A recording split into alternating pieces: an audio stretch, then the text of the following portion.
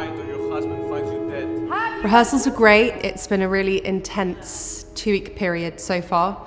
Miranda, our director, is amazing. So it's really nice to be directed by a woman um, and by someone who's just very sensitive and understanding.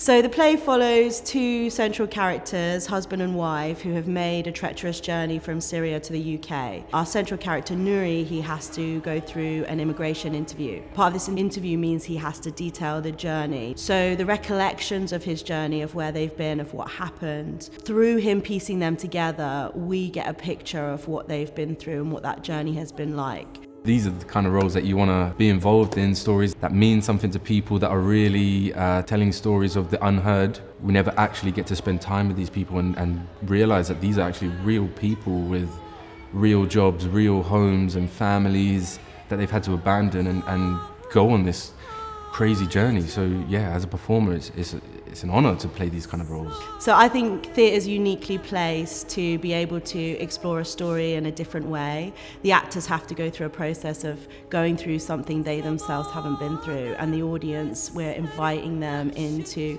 that process as well to see things from a different perspective, more than the headlines, a different um, perspective than a documentary, something that feels much more live, interactive and that you go on the same journey with these characters. It's an ongoing story. You know, the refugee crisis is something that is ongoing and it's not ending anytime soon, and it's just a very important story told in a very human way with characters that we really grow to love. People should come see it.